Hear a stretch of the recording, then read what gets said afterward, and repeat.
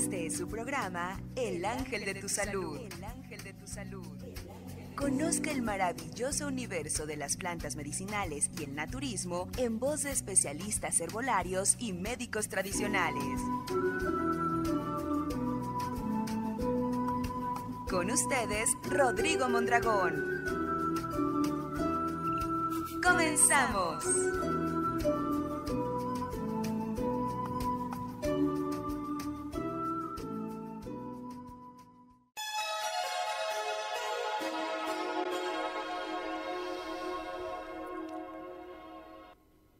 Hola, ¿qué tal amigos? Muy buenas tardes.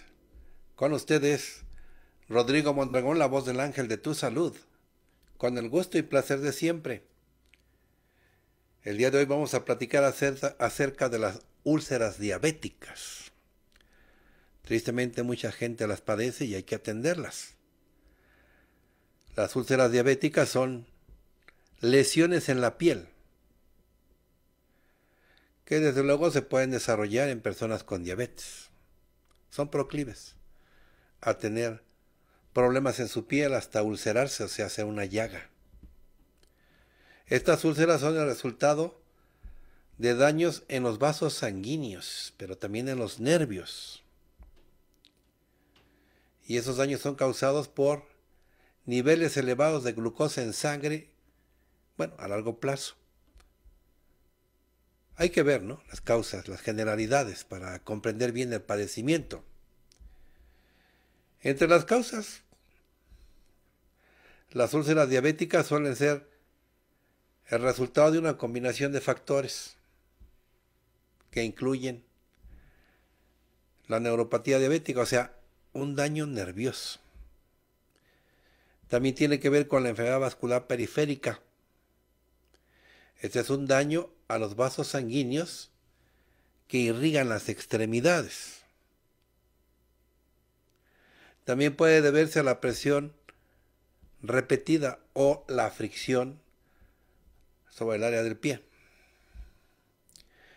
¿Cuál es la ubicación en donde se desarrollan las úlceras diabéticas? En los pies, particularmente en áreas de alta presión como la planta del pie, los talones, los dedos. Bueno, pero aún así puede ocurrir en otras partes del cuerpo como en las piernas. Las piernas también. Pueden aparecer las úlceras diabéticas. Se presentan síntomas, claro. A veces duele mucho, ¿no? Aunque en ocasiones no se presenta el dolor porque se ha perdido la sensibilidad, en donde aparece la úlcera diabética. Pero a la vista sí hay dolor, enrojecimiento, hay un hinchazón, calor, se siente calor. Al tocar la parte afectada se siente calor. Llega a haber secreción de pus o secreción de sangre y por supuesto hay un mal olor. Le decía yo sí hay dolor. Sin embargo, algunas úlceras pueden ser indoloras, o sea, no duelen. Porque ya hay un daño nervioso que está asociado con la diabetes. O sea, los nervios detectan, pero no envían la señal de que hay dolor, por lo tanto la persona ni se entera, ¿no? De que hay un daño que puede ser muy severo. Daño en la piel. Hay que analizar también los factores de riesgo. Bueno, a veces ya la persona tuvo antes úlceras previas que se les llama, o bien padece de neuropatía diabética o de enfermedad arterial periférica. Puede ser que también la persona tenga deformidad del pie. Se le va deformando, hay una mala circulación sanguínea. La persona por lo mismo de que no siente, ¿sí? Ha perdido la sensibilidad, o sea, puede calzarse un modelo inadecuado, inapropiado, o sea, un zapato que no le queda y no siente pues el castigo, la molestia. Ahí se lo deja, se lastima más. y la persona no está controlando la glucosa en sangre, lo tiene al olvido. No se monitorea, decimos. Entonces hay un control deficiente de la glucosa en sangre. Hay que tomar en cuenta que puede haber complicaciones. ¿eh? Las úlceras diabéticas pueden provocar complicaciones graves si es que no se tratan adecuadamente. Así, a grandes rasgos. Esas complicaciones pueden incluir infecciones, infecciones bacterianas. Otra complicación puede ser la gangrena, o sea, muerte del tejido. Otra complicación puede ser la osteomielitis, o sea, cuando ya se infecta el hueso, eso es osteomielitis. O sea, se va haciendo más hondo, se va abarcando más capas inferiores. La úlcera, ¿no? El bache, la llaga, va bajando, va bajando, va comiendo, va comiendo. Y hay infección del hueso. Para casos severos hay que estar al pendiente porque puede haber amputación de la extremidad que está afectada.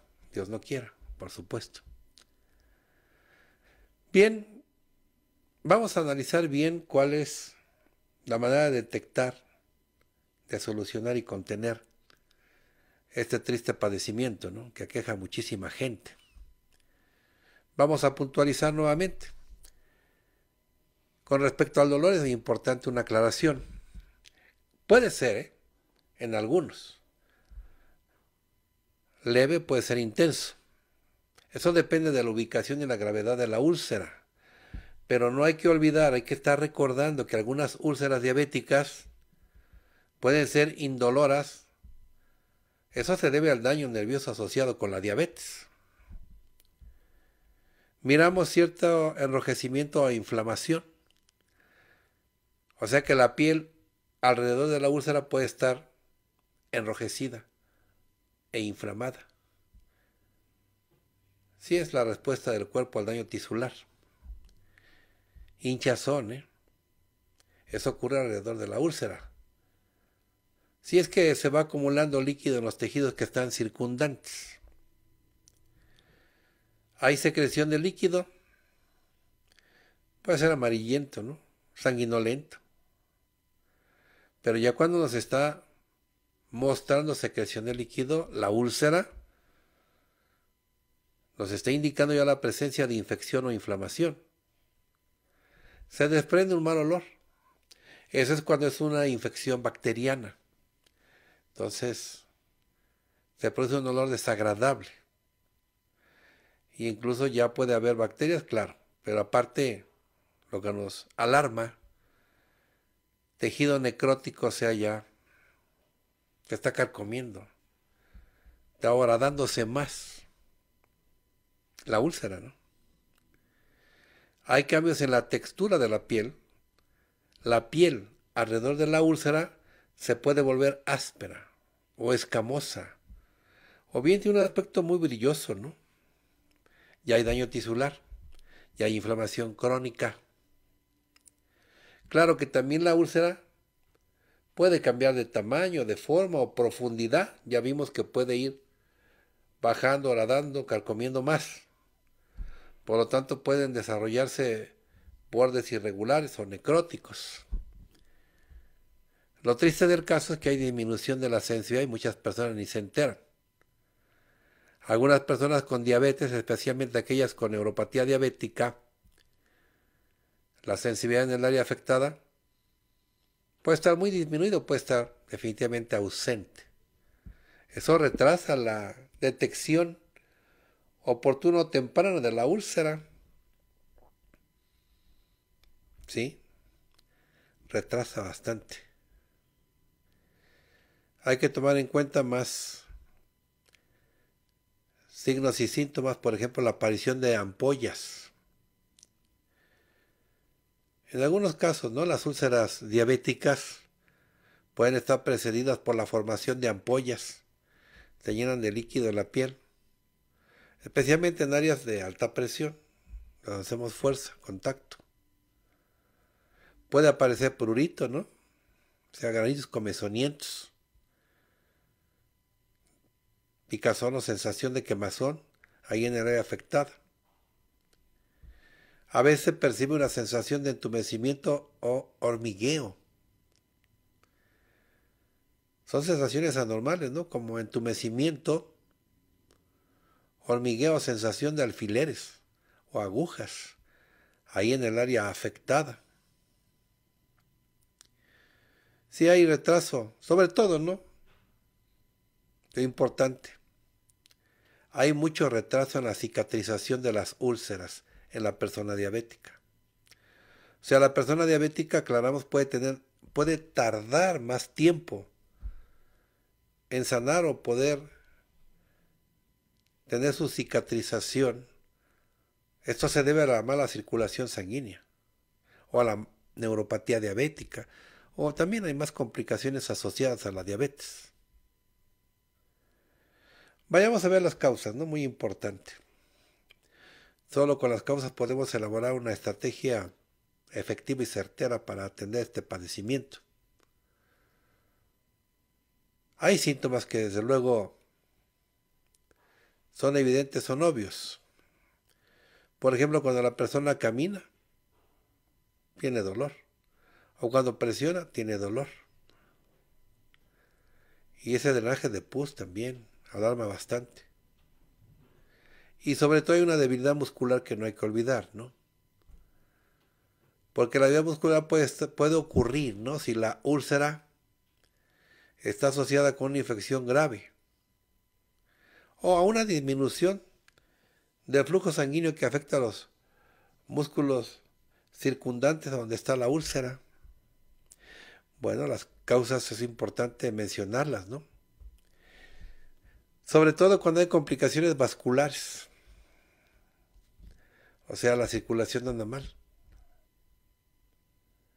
Y eso es asociado con la diabetes. Puede presentarse una arteriosclerosis, o sea, endurecimiento de las arterias. Eso reduce el flujo sanguíneo a los pies. O sea, no hay buena circulación, por lo tanto aumenta el riesgo de úlceras. Infecciones fúngicas o micóticas también hay un mayor riesgo en las personas diabéticas de que desarrollen este tipo de infecciones. O sea, infecciones fúngicas en la piel, como la tiña del pie. Esto va debilitando la piel y aumenta la susceptibilidad a las úlceras. Hay que analizar también que a veces hay una inmunosupresión. O sea, la diabetes puede afectar la función del sistema inmunológico. Eso dificulta la capacidad del cuerpo para combatir las infecciones. Es cuando se desarrollan las úlceras.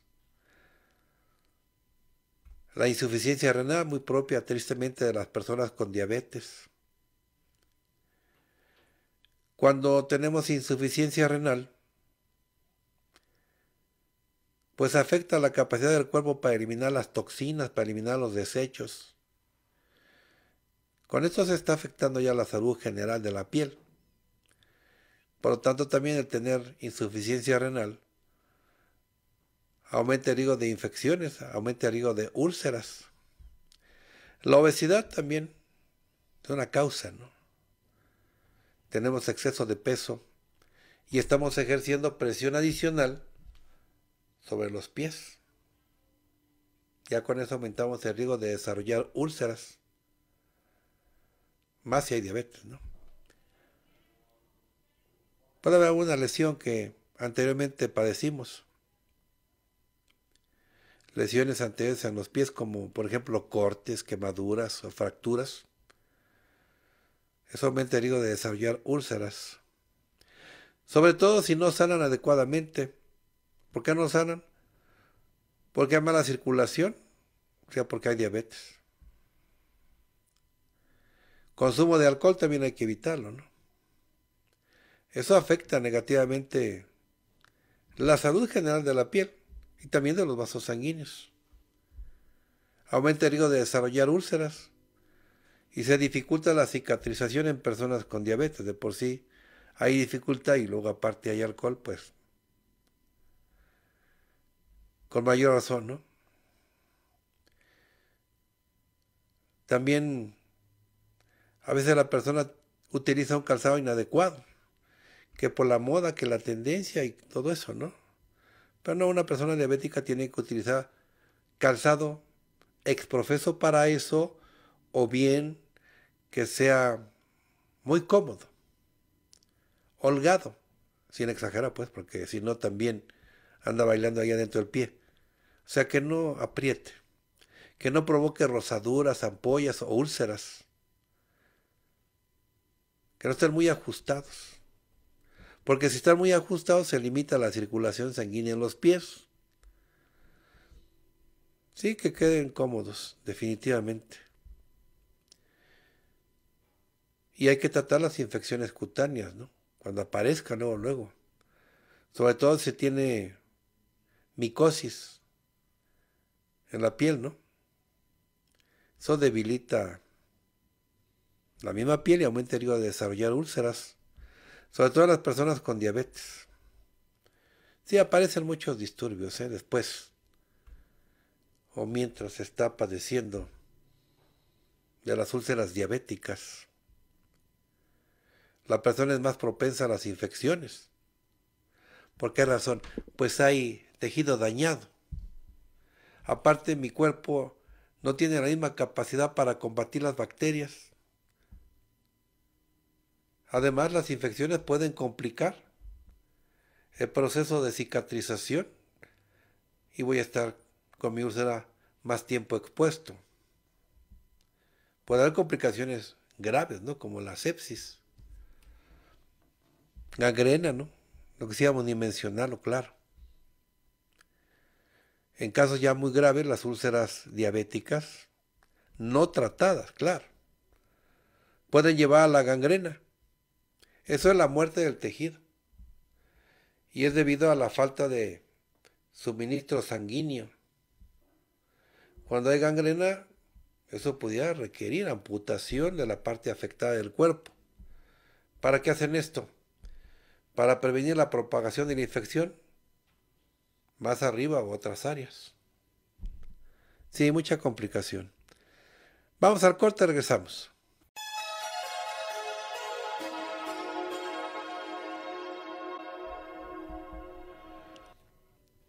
Bien, continuamos. Estamos platicando entonces de cómo atender una úlcera que está costando mucho trabajo porque no hay cicatrización, porque la persona presenta esa dificultad cuando tiene elevada la glucosa, tiene elevada la sangre, bueno, el azúcar en sangre, tiene elevado. Entonces eso no permite que haya una cicatrización, una sanación, ¿no? De que ya no esté ahí la úlcera, la llaga, que va creciendo hacia los lados, hacia abajo, y es un peligro ahí latente, ¿no? Aparte de que la herida está abierta, ¿no? Es presa fácil de otras infecciones. Si no ha tenido ninguna, pues de pronto le puede aparecer alguna, ¿no? Y eso compromete bastante su salud. Bien, hay que hacer algunas recomendaciones. Nosotros pues hacemos la fórmula. Tenemos acciones terapéuticas en nuestras plantas que nos permiten hacer, realizar una fórmula que sea certera, que sea eficiente, indiscutiblemente. Bueno, algunas recomendaciones, porque también el paciente tiene que participar, desde luego. Así acortamos el tiempo de recuperación. Hay que tener control de la glucosa en sangre. Hay que mantener los niveles de glucosa en sangre pues dentro del rango objetivo. Es fundamental, ¿no? Eso previene complicaciones relacionadas con la diabetes, incluye las úlceras. Hay que llevar una dieta correcta, adecuada, comer sano. Ejercicio regular también hace falta, acorde con las limitantes que tenga. Su tratamiento, que no falle, ¿no? Y hay que estar con un monitoreo frecuente de la glucosa en sangre. Hay que cuidarse bien los pies.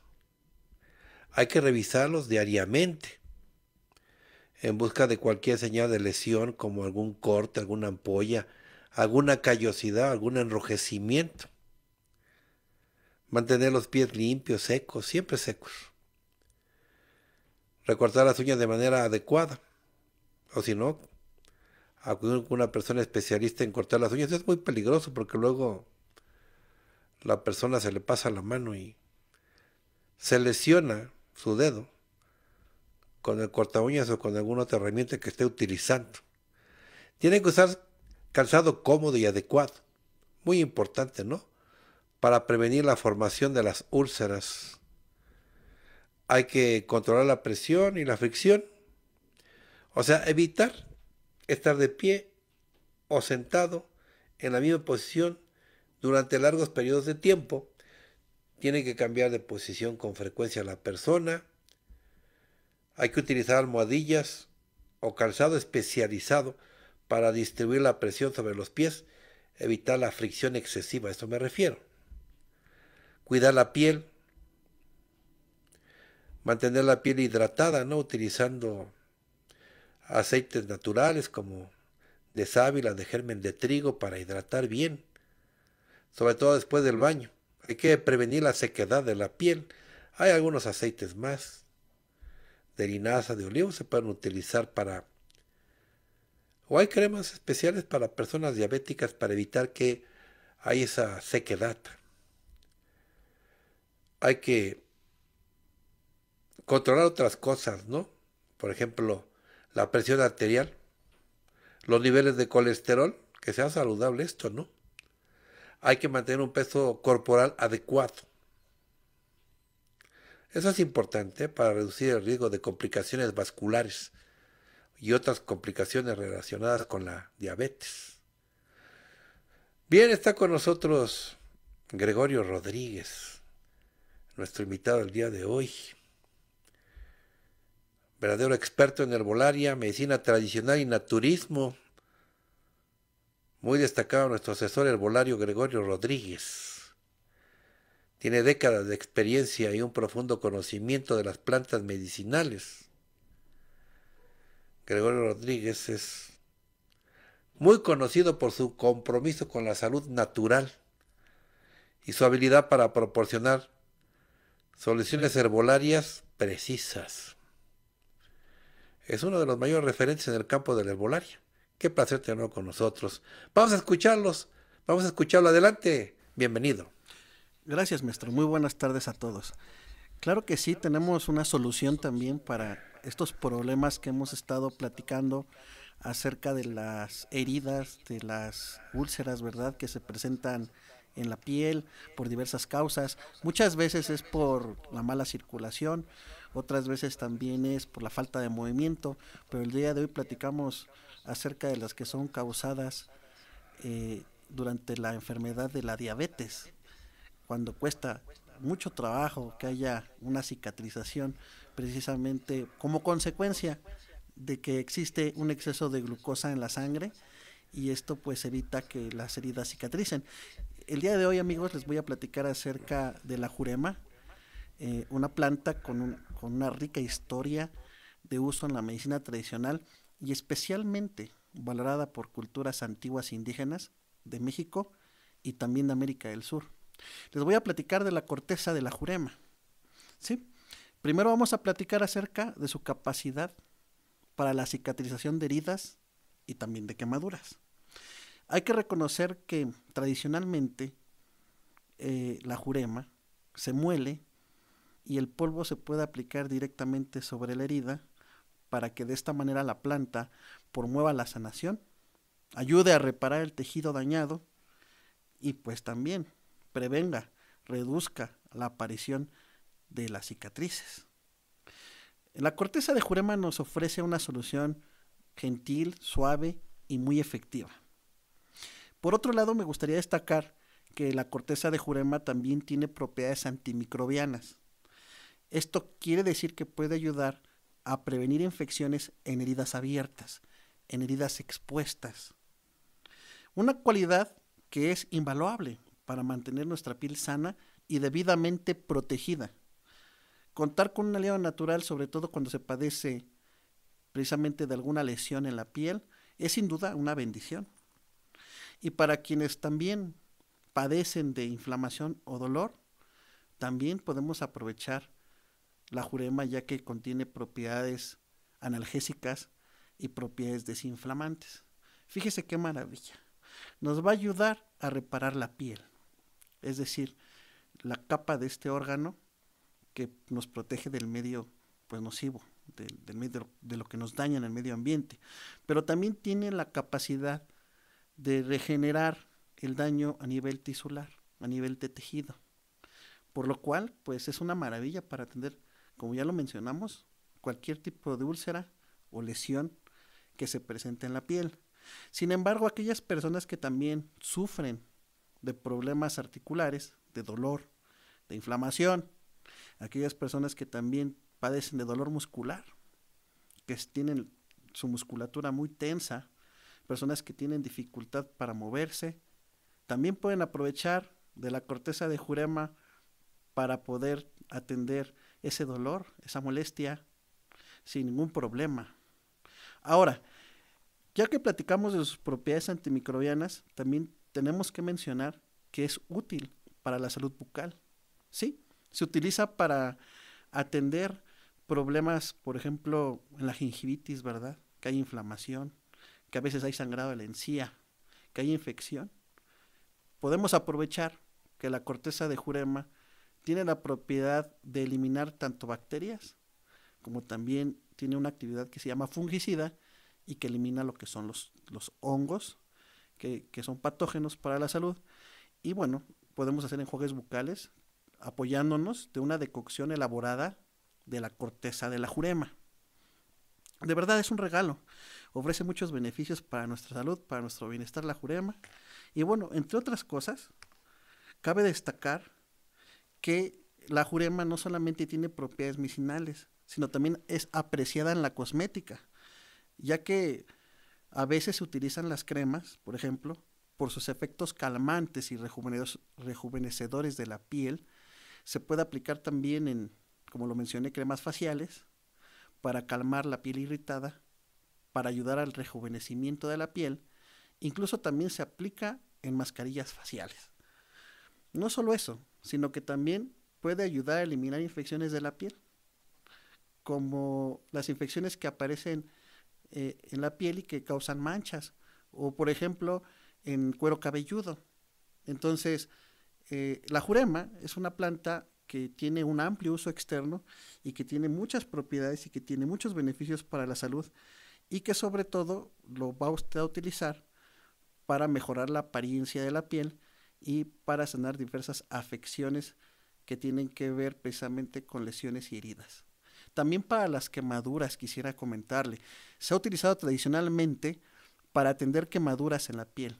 De hecho, en, incendios, en, en, accidentes desafortunadamente que han sucedido, masivos, se ha utilizado la corteza de jurema para atender, para reparar, para aliviar el dolor de las quemaduras y se ha tenido mucho éxito.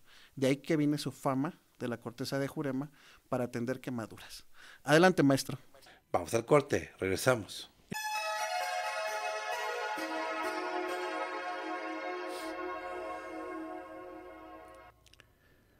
Bien, continuamos, no se lo olvide, atendiendo llamadas telefónicas. Usted solicite su fórmula y atiende esa salud de manera bondadosa, de manera grata, utilizando fórmulas, fórmulas herbolarias con suplementos. No se le olvide proporcionar un correo electrónico para que una vez que esté elaborada la fórmula herbal, se le mande de inmediato y no haya tardanza. Así que agregue por favor su correo electrónico a donde quiere que sea enviada la fórmula para que le llegue sin tardanza, le repito, bien. Por otro lado, nosotros elaboramos una fórmula en el transcurso del programa y esa fórmula la guardamos en nuestra página para cuando usted visite la página, ahí la encuentre, ¿no? Ahí la ubique, está disponible. Y ahí mismo puede usted, si lo desea, si lo desea mandar a un amigo o a alguien que necesite una fórmula, le puede mandar las que quiera. O bien, puede adquirir, cuando usted necesite una fórmula para algún padecimiento que no logra resolver, ahí, en la tienda en línea puede adquirir la fórmula fácilmente y le llega con prontitud a su casa, ¿eh? sin tardanza. Con la ventaja de que el envío o flete no tiene costo, entonces conviene. Bueno, ahora le doy la dirección de la página para que la visite.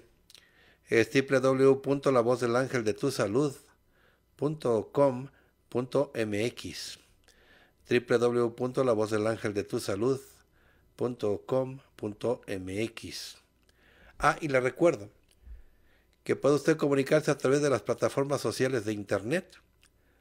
Puede comunicarse a través de ex, antes Twitter, con arroba la voz guion bajo del ángel, arroba la voz guion bajo del ángel, o también puede comunicarse por Facebook con el ángel de tu salud México, el ángel de tu salud México, o puede ver contenido de Instagram con el ángel de tu salud MX, el ángel de tu salud MX. Bien, aprovechamos entonces ahora para mencionar a nuestros patrocinadores. Tienda en la villa, tienda autorizada en la villa, calle Garrido número 203, entre Calzada de Guadalupe y calle Juan Diego. A una cuadra de la Basílica, a una cuadra de la estación de Metrobús Estación Garrido y a una cuadra de la estación del Metro Estación Villa Basílica. Anota el teléfono. 55 15 49 0061. 55 15 49 0061. Tienda en el pasaje Catedral de la Ciudad de México. Tienda ubicada en República de Guatemala número 10, interior 122, primer piso, junto al elevador. Centro Histórico de Ciudad de México a través de la Catedral Metropolitana Anota el teléfono 55 21 27 85 44. 55 21 27 85 44. Metro que queda cerca, Metro Zócalo. Tienda en Charco, esto es en el Estado de México. Tienda ubicada en Avenida Cuauhtémoc 36, entre calle Riva Palacio y calle Palma, frente al banco HSBC. En Charco de Díaz Cobarrios, Estado de México, el teléfono, claro, Anote. 55 59 82 73 72. 55 59 82 73 72. Chalco. Ahora también en Texcoco, Estado de México. Tienda ubicada en, Nicolás Bravo 214, subiendo primer piso, Colonia Centro, entre Fray Pedro de Gante y Leandro Valle y a una cuadra de la Catedral, allá en Texcoco, Estado de México, claro. Anote el teléfono por si requiere informes. 59 56 88 67 76. 59 56 88 67 76. Tienda en Naucalpan, Naucalpan, Estado de México. Está ubicada en Naucalpan, claro, Estado de México, por supuesto, en Avenida Gustavo Vaz, número 4A, en San Bartolo, Naucalpan, Estado de México, frente al Salón de Eventos Flamingos. Avenida Gustavo Vaz, número 4A, en San Bartolo, Naucalpan, esto es en el Estado de México, frente al Salón de Eventos Flamingos. Anotamos teléfono 55 53 57 24 74. 55 53 57 24 74. Son datos de nuestros patrocinadores. Bueno, momento ya de elaborar nuestra fórmula para úlceras, sobre todo en personas diabéticas. Sirve para cualquier tipo de úlcera, ¿no? Pero especialmente para los diabéticos les cae de maravilla esta fórmula. ¿Por qué? Porque tiene plantas hipoglucemiantes que también les van ayudando a controlar la cantidad de glucosa en sangre es muy importante limitarla a niveles normales o regulares. Sin, este, síntomas y signos. Hay dolor, claro, aunque algunas úlceras diabéticas pueden ser indoloras, o sea, no duelen, porque ya hay daño nervioso.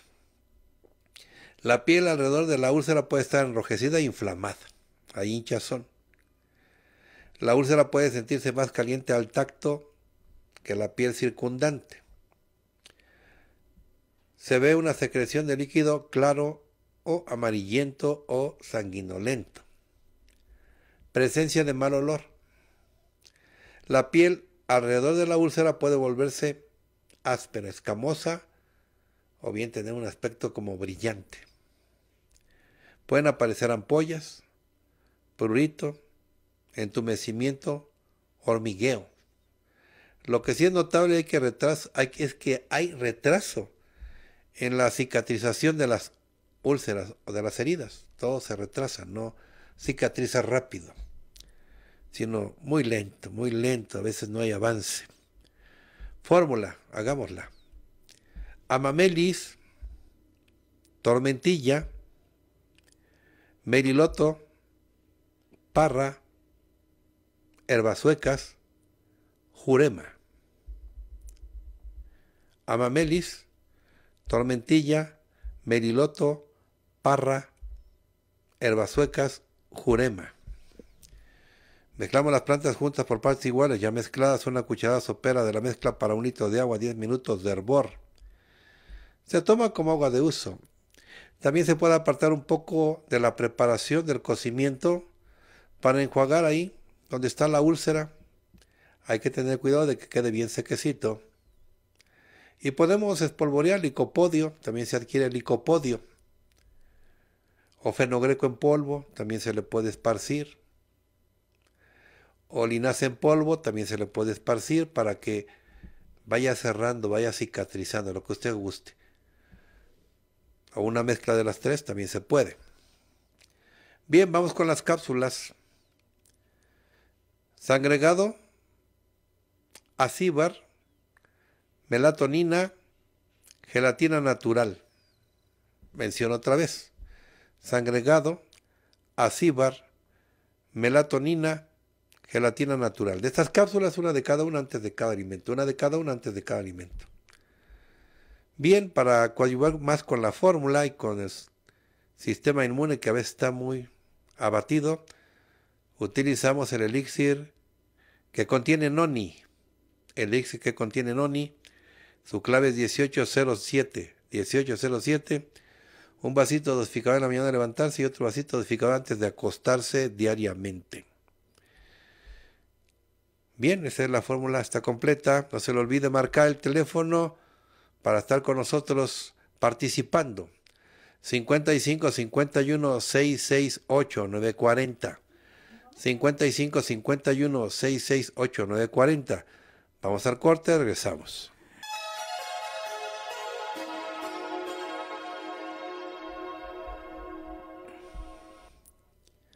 Continuamos, vamos a dar asesoría de verdad a las personas que nos están marcando vía telefónica. Lo hacemos con mucho gusto, vamos a contestar las llamadas. Buenos días, ¿con quién hablo? Hola, ¿con quién hablo? Sí. Buenas tardes, hablo para una fórmula para mi mamá. Sí, ¿quién habla? Yolanda Hernández. Yolanda, bien. Ahora dices que la fórmula no es para ti, es para tu mamá. ¿Qué edad tiene tu mamá? ¿Qué edad tiene? Tiene 64 años y pesa 38 kilos. 38 kilos, su estatura. 1,49. 1,49. Dime qué tiene. ¿Qué le sucede?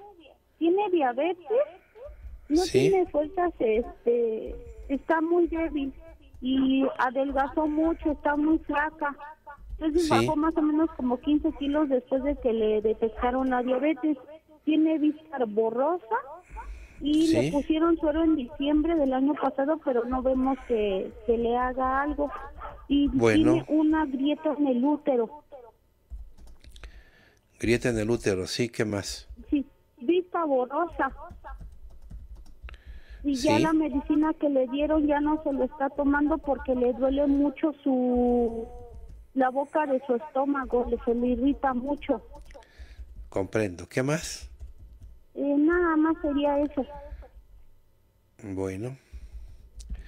¿Cuándo la diagnosticaron la, la úlcera? La, grieta la, no, la grieta en la matriz, sí. Como un año. Ah, bueno. Está bien, entonces con esto hacemos la formulación para que pues ya recupere su salud. Sí, doctor. Bueno, entonces, veamos. Vamos anotándote Huasteco.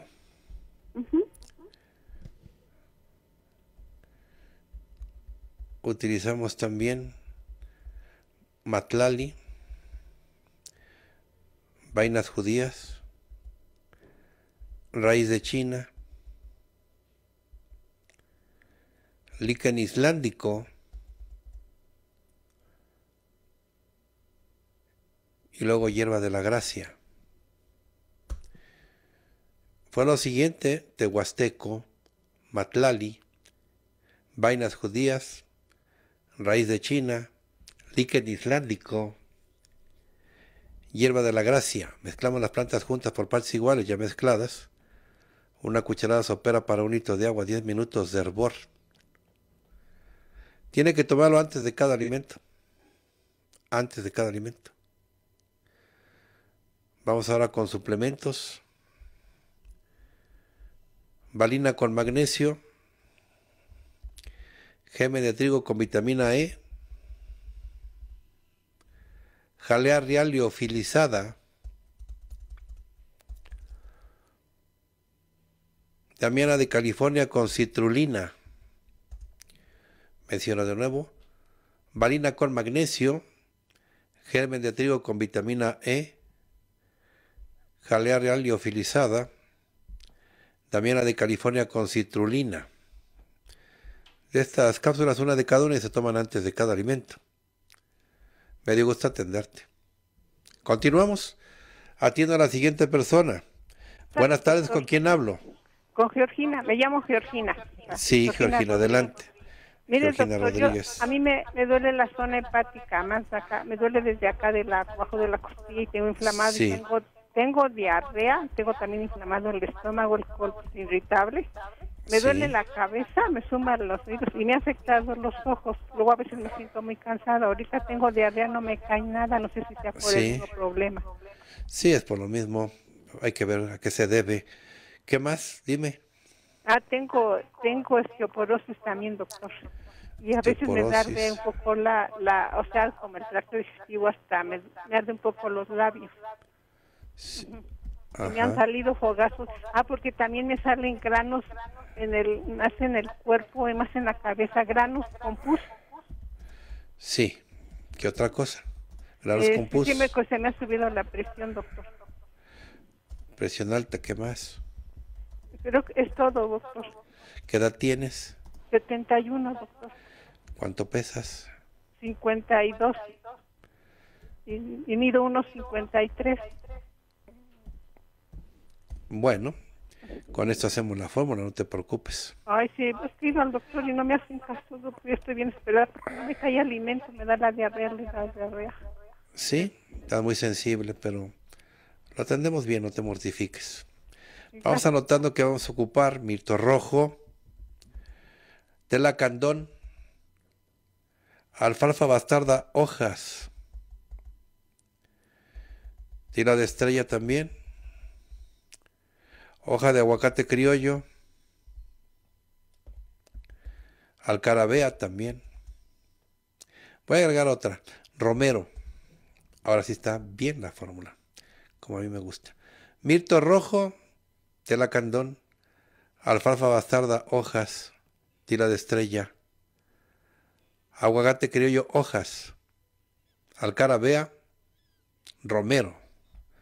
Mezclamos las plantas juntas por partes iguales, ya mezcladas. Una cucharada sopera para un litro de agua, 10 minutos de hervor. Se tiene que tomar como agua de uso. Suplementos. Lactobacilos acidófilos. Maca peruana con vitamina E. Utilizamos también clorofila natural.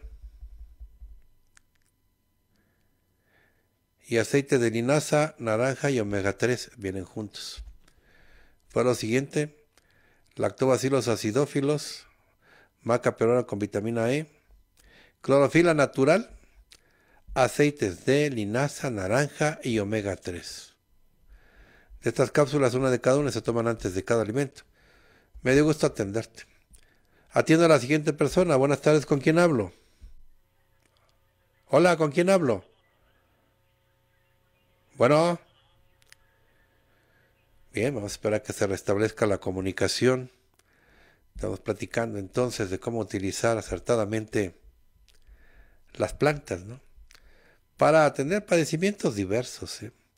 La verdad es que las plantas tienen acciones terapéuticas tan variadas, inconmensurables, o sea, muchísimas, ni manera de medirlo.